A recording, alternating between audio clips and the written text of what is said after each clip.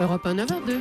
L'interview découverte Caroline Roux, vous recevez ce matin Jérémy Rabineau. Cet élève ingénieur vit entre Toulouse et la planète Mars. Bonjour Jérémy Rabineau. Vous êtes étudiant à l'Institut supérieur de l'aéronautique et de l'espace, une école d'ingénieurs. Vous avez 21 ans et dimanche, vous serez devenu un membre de l'équipage MDRS Super Aero Crew 164 pour une mission de simulation de la vie sur Mars. Ça va se passer dans l'Utah, aux États-Unis. Donc à partir de dimanche, plus de smartphones. Effectivement, à partir de dimanche, plus de smartphones. Mhm. Fini les soirées à regarder des vidéos sur YouTube, Ça etc. fini. Euh, donc tout ça est fini. On se retrouve, comme vous le dites, sur Mars ou presque. Mhm. Et donc avec tout ce que cela entraîne, c'est-à-dire que pendant deux semaines, on ne va pas ressentir euh, l'air extérieur sur notre visage. On sera soit à l'intérieur d'un hub, soit à l'extérieur. Un hub Mais le, le hub, donc euh, la structure dans laquelle on vivra, euh, donc euh, ce cylindre de 8 mètres de diamètre, dans lequel on vivra pendant deux semaines à 6 sur, euh, sur deux étages. Donc soit à l'intérieur de ce hub, soit à l'extérieur, mais avec un scaphandre. Donc Mhm. pendant deux semaines, on ressentira pas l'air extérieur vous fait rêver, sur là, notre sens. visage. Euh, Est-ce que vous appréhendez euh, à 6 dans un cylindre de 8 mètres de diamètre Vous vous projetez Vous vous êtes entraîné à ça ou pas? Alors, euh, donc, on est ce qu'on appelle analogue astronaute. On n'est pas vraiment astronaute, Mhm. c'est-à-dire qu'on n'a pas d'entraînement physique euh, comme peuvent le subir les astronautes. On sait, euh, donc, euh, on se connaît depuis euh, un certain temps. On a eu le temps de, on a eu énormément de réunions, on a pu beaucoup travailler les expériences, mais on n'a jamais vécu ce genre d'expérience. C'est quelque chose, disons que c'est, euh, c'est quelque chose auquel on peut pas se préparer sans le vivre. Alors la mission, euh, à vous particulièrement, quel sera votre rôle dans l'équipage? Alors, euh, donc, chaque, euh, chaque membre de l'équipage a un rôle bien défini.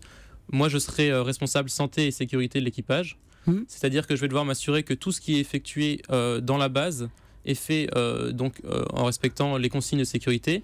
euh, parce que le but, c'est de ne pas prendre de, de- le moindre risque. Sur Mars, c'est critique. Ici, ça le sera un peu moins. Euh, il n'empêche que la ville la plus proche est quand même à, à une heure. Et que s'il arrive le moindre accident, c'est très difficile. Et Jérémy Rabineau, vous avez été choisi aussi parce que votre papa est pompier. Effectivement, oui. Donc, euh, parce que mon papa est pompier, qu'il a pu m'apprendre énormément de choses, parce que j'ai quelques brevets de secourisme, euh, et donc voilà. Alors c'est pas juste six étudiants qui jouent euh, aux astronautes euh, en plein milieu du désert de l'Utah. Non, euh, vous allez vraiment préparer, en tout cas aider à la préparation d'une vraie mission, d'un vrai départ, celui de Thomas Pesquet. Expliquez-nous pourquoi. Oui, en l'occurrence, donc un certain nombre d'expériences ont été proposées par l'agence spatiale française, le CNES, pour le vol de Thomas Pesquet, et l'une d'entre elles est un assistant personnel qui se présente sous la forme d'une tablette.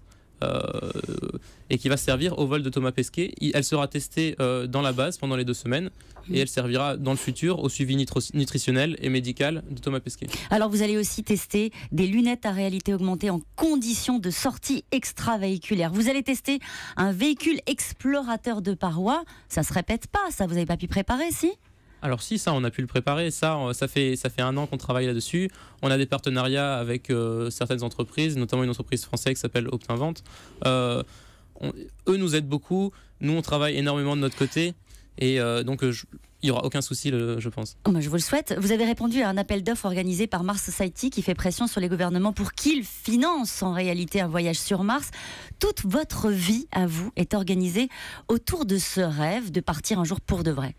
Effectivement, ouais. donc euh, euh, quand on est enfant, y a, on son rêve soit de devenir pompier, soit de devenir footballeur. Moi, je faisais partie de l'équipe des astronautes. Euh, et voilà, c'est un rêve qui m'a qui m'a jamais quitté.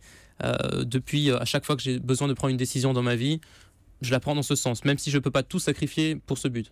Mais vous allez très loin dans votre démarche, puisque par exemple, vous avez choisi de faire une partie de vos études en Russie, parce que quand on veut devenir astronaute, il faut savoir parler le russe. Effectivement, le russe c'est la deuxième langue euh, dans l'espace. hein. Ouais. C'est la deuxième langue.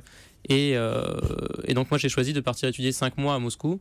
euh, parce que c'est toujours une grande puissance spatiale. Ça l'a été euh, pendant la guerre froide. euh, Donc, on a eu le- la compétition entre les États-Unis et la Russie. Et ça l'est toujours. Et donc, euh, c'est pour ça que j'ai choisi d'y aller.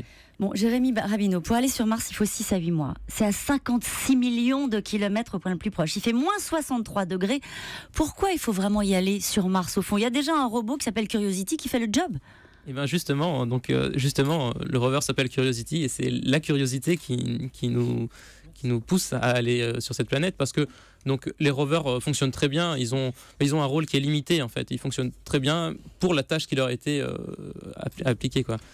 C'est quand la prochaine sélection pour les astronautes français? alors la prochaine sélection, euh, on peut jamais vraiment le savoir puisque ça dépend des Bon. politiques de chaque pays, euh, mais n'est pas attendre euh, avant les dix prochaines années Vous au serez moins. prêt J'espère, je suis toujours prêt. Je suis déjà Merci prêt. beaucoup, Jérémy Rabineau. Et bon voyage. nous, on se dira peut-être on l'a vu, c'est le garçon qui est parti sur Mars, c'est incroyable. Bon, on n'a plus de nouvelles, mais on l'a on l'a vu quand même. J'espère pouvoir vous donner des nouvelles après. Moi.